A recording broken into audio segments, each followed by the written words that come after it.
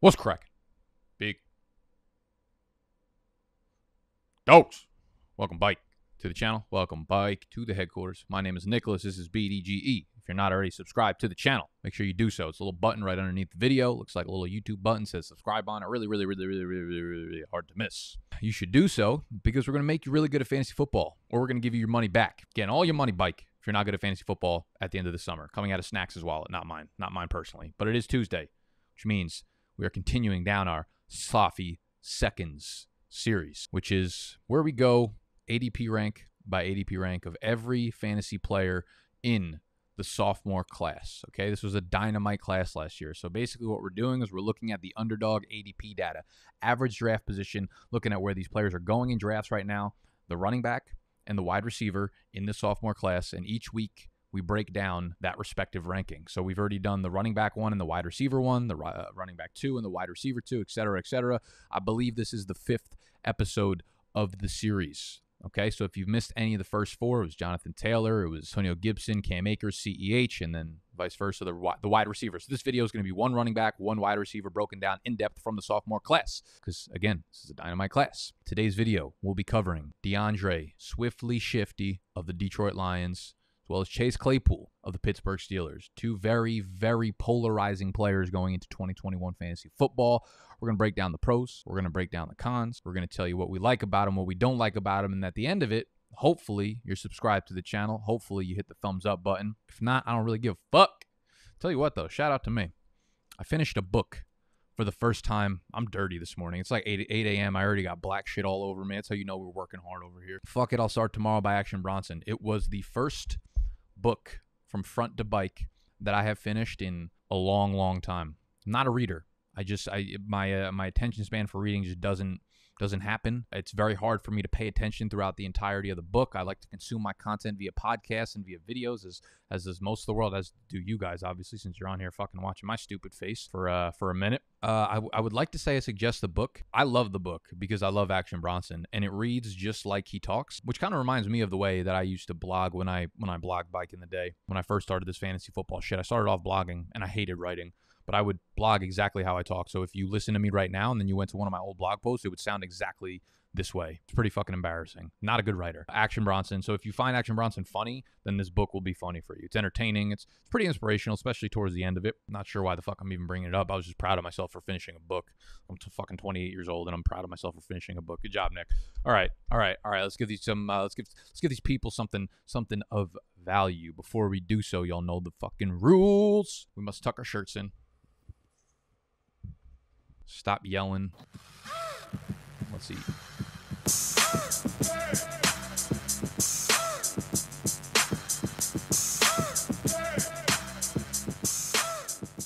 So all of the ADP data, data, data, data that I reference throughout this video, and throughout this entire series from Underdog, it will be linked down below. Go download the app, use promo code BDGE. When you deposit 10 bucks, you're going to get 25 free dollars on top of that to play with.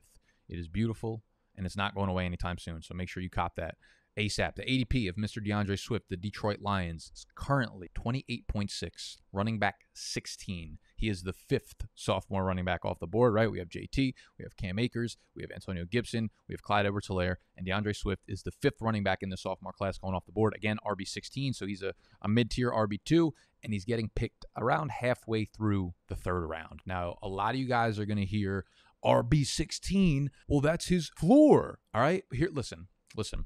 The whole point of me coming onto the mic, every time I hit the record button, every time I turn the mic on and make sure that the sound is on, sometimes I forget to do the sound on. I do a whole fucking episode, then I gotta go bike and do it again. And that shit is it's the worst part about being a content creator. All the damn technology that you have the possibility of fucking up. Anyways, every time I turn the mic on, my goal is to shift your mindset. Realistically, my goal is not to actually convince you whether or not you should like a player. All right. I'm well aware that, you know, choosing between the RB15 and the RB16 when it's your draft pick, when you're up on the clock, it is a coin flip for you to get that right. I want you to think differently when it comes to drafting when it comes to fantasy football, when it comes to fucking life in general, okay? The best content creators, in my opinions, are the ones that make you think differently at scale from a strategic standpoint, right? Everyone can regurgitate the same shit, the same numbers, the same stats, but how many times you come across a podcast, you know, going into it looking at something one way and coming out a completely different way. Like, damn, my whole ass mindset has been shifted. That's how that's how you start to appreciate content creators, right? The, the ones that I listen to, the ones that I appreciate, are the ones that have made me think differently at scale. And those are the ones that I'll always support and those are the ones that I'll always that I'll always follow, right? And I'll always listen to them even if I don't agree with their takes. So that is my goal every time I step onto the mic. I know we're getting fucking emotional, but there's a point to this. This is where I'm leading. When you guys throw out the things like, "Oh, he's going at RB16." That is his floor. I mean, one, that's not true. But two, even if it was, that doesn't make him a good pick, D'Andre Swift, all right? The question you need to be asking as a fantasy football player, as a drafter, isn't what his floor is, but how likely he is not to finish around that floor. Okay. If you say his floor is RB 16 to RB 18, out of 100% chance, what percentage is it that he finishes in that RB 16 to RB 18 range? Because if that rate is high, if you're like his floor is RB 16 to RB 18, RB 15 to RB 18, but there's a 75 chance that he 75% chance that he actually finishes in that RB 15 to RB 18, that's not a good pick in fantasy football. Okay. That doesn't move the needle. You don't want to be using your second, probably even your third round pick on someone that doesn't move the needles. We are solely, we are solely looking for needle movers. Okay. We draft two running backs off the rip. Typically, that that's my strategy that I convey to you guys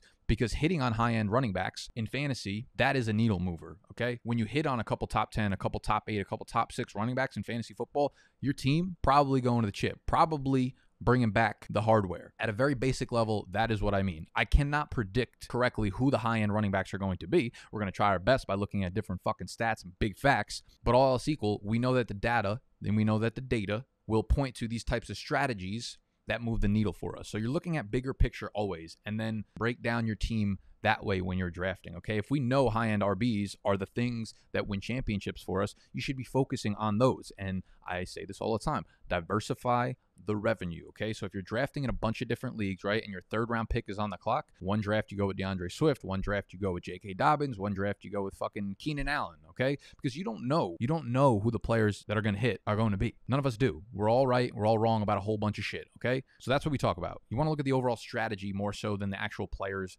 themselves. So we look at last year. Kareem Hunt was the RB 18 in fantasy points per game. He averaged 12 and a half fantasy points per game and half PPR. Rex Burkhead averaged nine and a half fantasy points per game, down at like running back 32.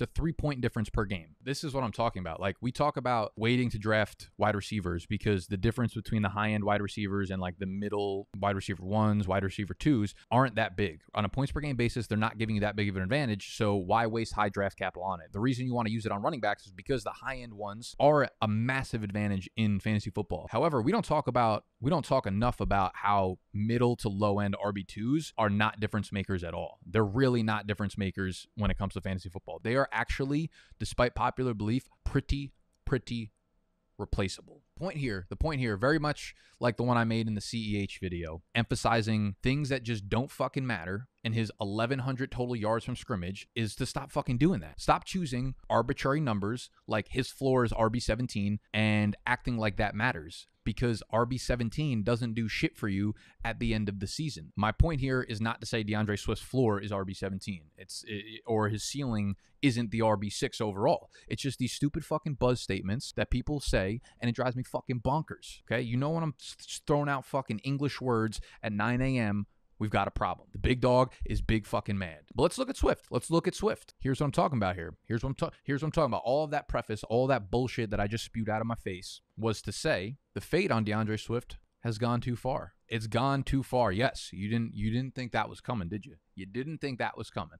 We look at Swift and we all love him as a as a talent, great prospect, great running back. It looks like he's kind of going along the exact timeline Miles Sanders went through, right? Came in as a talented rookie. Everyone overdrafted him in redraft leagues, right? 5th, 6th round because he's exciting and we all just assumed that the talent was going to push him up the depth chart even though it was clear that it wasn't going to happen based on the coach, based on the scheme that they were both drafted into, just like we had Jordan Howard, etc. in Philly. We had Adrian Peterson, Kerryon Johnson in Detroit. The stage, however, for D'Andre Swift has been set in year two. And I made a, a video about D'Andre Swift a couple weeks back. And I wasn't it wasn't particularly just about D'Andre Swift, but it was my official fade list, my official do not draft list for running backs in 2021 fantasy football. That video will be linked down below. At the time I made the video, D'Andre Swift was going like 17 or 18 overall, I believe, somewhere in the second round. Okay, it was like it was like mid second, late second round, and at that price, can't get on board. Now he's dropping to the 29th, 30th pick. Right, he's midway through the third round. I'm, I'm assuming he's going to keep dropping and dropping and dropping for whatever reason. But the more he drops, the more I like him. All right, and that, my friends,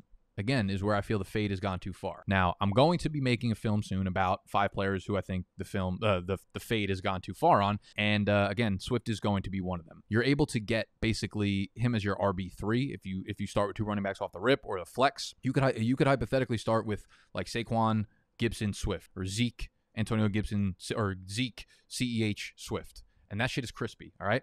Swift will be the starter this year. The point to take away with Swift here is that like Swift will be the starter in Detroit, but not every starter in the NFL is a workhorse. Swift won't be because Jamaal Williams is there. He will absolutely play a, an annoying, an annoying number of snaps if you're a D'Andre Swift owner. Uh, the positives are, are obvious here, right? The Lions are bad. They're going to have to throw a lot. Swift is a great pass catcher, thus he will have an advantage in that department. And they have such little talent at wide receiver that it might not even be hyperbole to project Swift as like the second leading target getter in this offense. I do think it's a stretch, to be honest. Anytime a running back is like the second leading target getter, very, very, very few running backs do that in fantasy football or just NFL in general. But it's not impossible, right? People throw around huge target share numbers left and right when it comes to running backs without actually looking at the numbers and without actually understanding what the fuck they're talking about when they say these things. And uh, and it's not. And this tweet I'm about to bring up is not necessarily about just target share overall. But I tweeted this out last week and I figure it's worth showing y'all because again, we like to teach you strategy, not just players or numbers or anything like that. And uh, and, and we hear this narrative all off season, right? My favorite narrative is the one where people think a backup running back is better than the starter. So they say, but he's going to be used in the slot this year. Okay, so you, you hear it all the time, like, oh, Tony Pollard. I love Tony Pollard. He's better than Zeke. Like, one, no, he's fucking not. People like Tony Pollard so much or need to pretend that they like Tony Pollard so much that they're giving you fake reasons to draft him in fantasy football. Tony Pollard's the best 10th round pick in fantasy football. Like, literally, no, it's not. You're going to sound dumb if Zeke stays healthy. If Zeke gets hurt, cool. Then you predicted an injury, which is like impossible to do. So you sound dumb otherwise, and they'll be like, well, Tony Pollard's going to be using the slot more this year, so he's a good draft pick. I went back and looked at last year. NFL running backs in 2020 that averaged three or more, literally three or more slot routes per game. I'm not talking about slot receptions. I'm not talking about slot targets. I'm talking about literally lining up in the slot to run a route. Three, just three per game. Four NFL running backs did that. Four NFL running backs lined up in the slot three times per game. Okay. Do you understand how minimal that is? Look at Edmonds, JD McKissic, Malcolm Brown. That's why another reason I'm high on Cam Akers and Alvin Kamara. Okay. Like none of them, Edmonds is the highest number at 5.6, 5.6 slot routes per game. You understand that running backs typically have like a 7 to 10% target share if they're in like the average or maybe a little bit above average? So you're talking about three slot routes per game and you're targeted on what, 7 to 10% of your routes? So that's one slot target every four. Like, what are we talking about here? Okay, it's just another fucking farce buzz term that people throw around that we need to debunk, debunk bed breakdown this shit. All right, fucking skirt. Here's what we can reasonably expect. Like, what rate can we reasonably expect for a guy like D'Andre Swift. Now, people want to start throwing around like 15 to 20% target share. Let's start with the fact that Alvin Kamara was the only running back over the last year, or only running back in 2020 that clipped 20% in terms of target share on his respective team. That was because Michael Thomas was basically dead. All right. Five running backs in the NFL went over 15% last year. I think 12 ish to 15% is is reasonable for D'Andre Swift. Targets 65, 70, 80. I'm not sure. I'm not sure what target number we're going to end up with for D'Andre Swift, but he should be amongst like the top five to top eight in terms of targets at the running back position. Now, you wish they didn't bring in a guy like Jamaal Williams because he's more multifaceted than a lot of the like if they brought back AP or if they brought in a guy like Jordan Howard or whatever because they're more like thumpers. They don't really catch passes. Uh, but Jamaal Williams is going to take like 30 to 40 targets, and it's not like a huge amount, but it's still enough to to bring Swift's ceiling down from like, okay, is he in that Austin Ekeler? Is he in that Alvin Kamara? range where he can get 100 targets and this means absolutely not with Jamaal Williams. So he's in the tier below that where he can still get 80, 70 targets or whatever and be a, and be a really really good PPR play. The question comes on the ground, right? We know Swift is going to get the work in the air. The question comes like, what happens on the ground? Swift, just like J.K. Dobbins, was awesome on the goal line, okay? Started seeing a lot of the team's goal line carries. How many will Detroit see of those? I mean, probably not a ton. The narratives that they're going to be a bad team. How many scoring opportunities is is is this backfield going to get? Then I look back at last year. I'm like, they also were a five win team last year, and it was enough for D'Andre Swift to score eight rushing touchdowns. However, the biggest the biggest red flag to me right now the biggest red flag to me right now is Anthony Lynn coming over from the Chargers. And this is what scares me, man. I'm not scared of Jamaal Williams as a talent. I'm not even scared of him really contributing on third downs and taking away the targets, right? That does hurt his ceiling a little bit. What I'm scared of is uh, Anthony Lynn going out of his way to call Jamaal Williams his A back call him his big back, his thumper, his guy on third downs, because I'm not sure just how many people, I'm not sure, uh, I'm not sure how aware people are of just how little Anthony Anthony Lynn used Austin Ekeler on the goal line over the last few years. Like we look at Austin Ekeler, we're like he's a great fantasy back. Like we, he he makes up for it in the receiving department, and I think we're all comparing like D'Andre Swift to Austin Ekeler, right? Swift is definitely bigger. He's more of like a workhorse build, but I think we'll see like a similar type role from Swift as we did with Austin Ekeler. The problem is Austin Ekeler was never fucking used on the goal line. You look at these splits, right? We go back to the 2019 season where Melvin Gordon held out. The first four games of the season, Ekeler went nuts, right? Was scoring touchdowns left and right. He got five goal line carries in the first four games. When Melvin came back over the next 12 games, Ekeler saw combined four goal line carries. Then you look back at last year, Ekeler was obviously banged up, but he saw two goal line carries in the 10 games that he played. This is per PFF, by the way, PFF stats. The other two backs there, Kalen Ballage, Josh Kelley, I have no respect for Josh Kelley. That's why I just spelled his fucking name wrong and left it on the chart. Eight and seven goal line carries. So 15 to 2 from their a backs. Okay, that that is where I see the problem. Like you could force this in, onto D'Andre Swift. You could just say he's going to be the goal line back, but we've seen the track record of Anthony Lynn. For whatever reason, he really, really, really buys into this A back narrative, and it matters on the goal line for his scheme for whatever fucking reason, and is going to impact D'Andre Swift. So the way I look at it is, yes, his ceiling is capped. His floor is nice, but I don't take second round picks for floors. I take them for ceilings. Third round picks, you start to look at a combination of things. You do start to look at the floor. You do start to look at the ceiling. You start to look at the talent. The further you get down the draft board, the more you can risk your picks a little bit, right? You, you need to make sure you hit on your first and second round picks because they're going to be the ones that score the most fantasy points. They're the, they're the ones that anchor your team. So the other ones are more like minuscule picks, right? As you get down the rounds in your fantasy drafts, they matter a little bit less. And you could take a few more swings because if they miss, the other players getting drafted in that round, your league mates are also taking players that have less likelihood to hit than the first and second round picks. So D'Andre Swift starts to go into the third, fourth round. He's a guy who I will be looking to take there. He's a guy who can go for seven or eight hundred yards on the ground. I think like people people love to look at fantasy in such a black and white spectrum. They like to be like, okay, D'Andre Swift, I, I either hate him or he needs to go for fourteen hundred yards on the ground. Like D'Andre Swift can go for seven or eight hundred yards on the ground, but also 400, 500 through the air, right? And that will leave you with somewhere between like 1100, 1200, 1400 yards from scrimmage, right?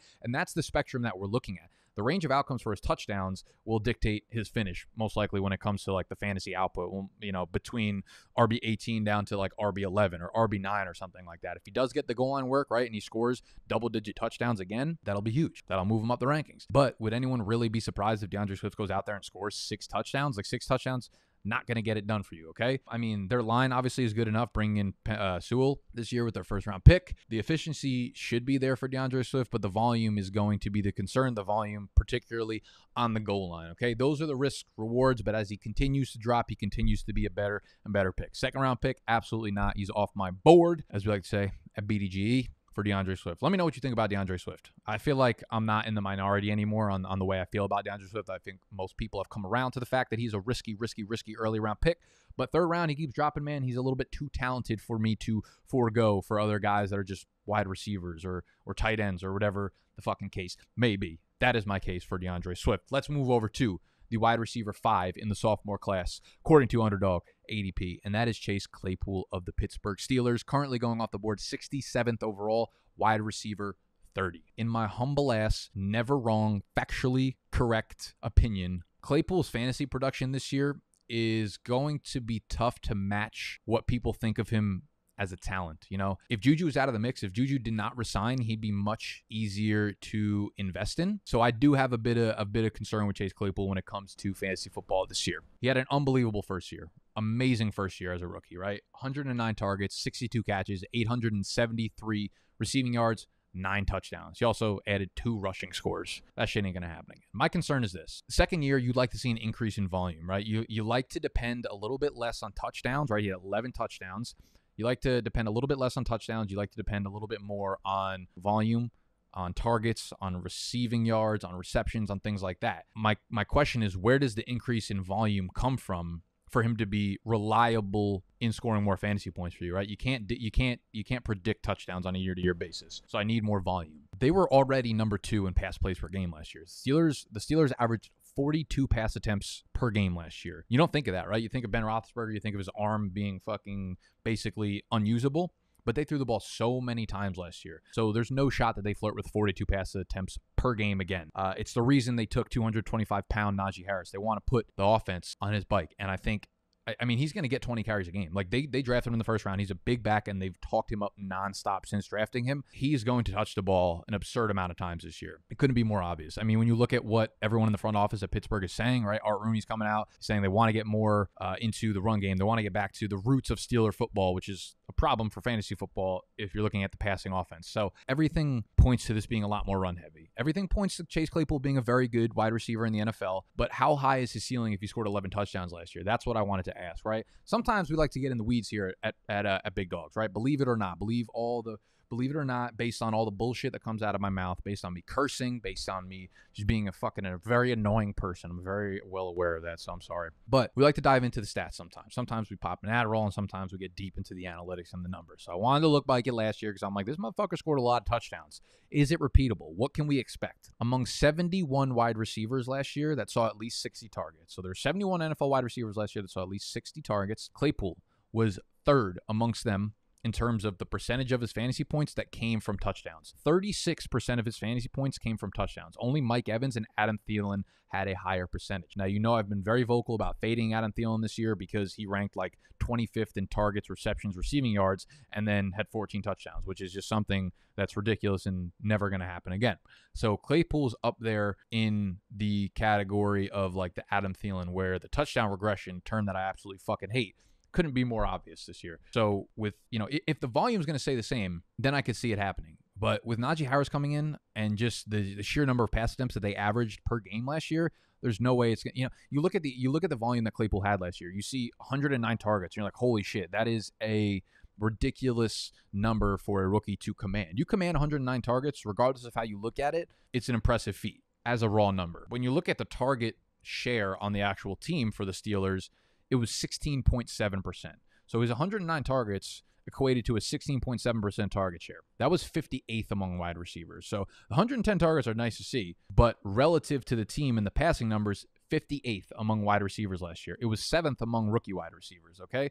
So if we're talking about keeping that rate, keeping that target share, maybe going up a little bit, but they do sign, re, uh, they do re-sign Juju. Diontae Johnson's obviously still, still there. Najee Harris is coming in as an actual pass catching running back, something that they did not have last year. So he takes some of the targets. You know, the volume, if the volume goes down, he doesn't have that high of a share in terms of targets. Like, yes, that number could obviously go up because he didn't play much over the first couple weeks of the season. He could be more of a, a part of this offense. Very, very much a possibility here.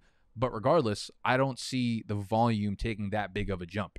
It feels like the touchdown numbers need to be there for Claypool to be good ROI. I would love Claypool if I was a Steelers fan. But if it's not a best ball draft, it's gonna be tough for me to invest in a guy like Chase Claypool, where you don't where you need to actually decide which weeks to put him into your lineup, right? So I probably won't be drafting him much in 2020 or 2021 redraft leagues. I'll be drafting him a little bit in, in best ball leagues if he drops to me because obviously he can have very big games. He had a bunch of very big games last year, but I feel like without the volume, it's going to be hard to predict those games. Case in point is that there's there's a very very big possibility that I'm just completely overthinking this. But when I look at it, the basic points here are all signs point to this being a much more run heavy offense than it was last year. Four legit receiving options with the addition of Najee Harris. I don't know. I, I feel like we're in for a little bit of a statistical disappointment from Chase Claypool this year, and that's what I got for you today. Okay. Hope uh, I hope that any of that fucking episode makes sense. I knew that was extremely long winded. Went on about Action Bronson. We went on about stupid fucking fantasy football strategy for a very very long time. I don't know. I was just feeling I was in a weird mood today. You could see I got a nice crispy tan, fucking crispy like a chicken finger out here. I think the sun this weekend fried a little bit of my brain, which is why we went down a bunch of weird paths in this episode. But I hope you guys enjoyed it. Next week, Sophie Seconds will be, ooh, I think it'll be a good one. I want to say it's uh, J.K. Dobbins and Jerry Jeudy. maybe. All right, all right, all right. Now we talking. Now we talking. So if you want to hear that, if you want to hear the breakdown on those two guys next Tuesday, make sure you subscribe to the channel. Tomorrow will be uh, I don't know what tomorrow is, but we're putting out videos every single fucking day. So just make sure you subscribe regardless. If you enjoyed the video, hit the thumbs up. If you want to watch any of the previous Sophie Seconds videos, they will also be linked down below, along with anything else I said I was going to link in this video. Tony, you better fucking make sure you tell me what I said I was going to link in the description in this video, okay? Shout out to Tony for the edit. I love y'all. I'm out.